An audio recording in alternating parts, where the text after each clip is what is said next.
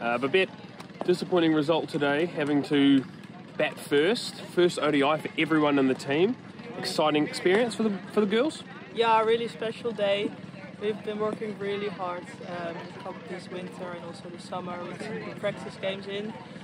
Uh, yeah, really disappointing result, but we take a lot from it, and it was a special day for us. So we will remember it, and we will learn from it, and we will come back stronger.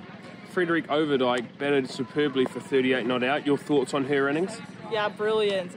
Well, exactly what we needed from her. Obviously, we are missing Sterre Kalis and Heather Siegers in our batting lineup, so two big gaps there, and this is a perfect opportunity for girls to step up, fill the gaps, and I think did really, really well today.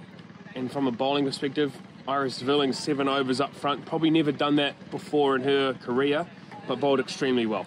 Yeah, absolutely. She took some very important wickets. She bowled really well.